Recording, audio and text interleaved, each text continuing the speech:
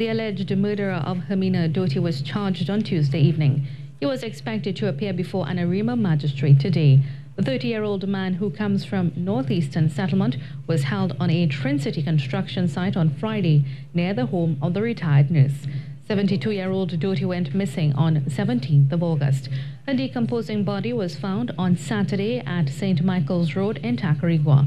An autopsy conducted at the Forensic Science Center in St. James was inconclusive and a definite cause of death could not be established.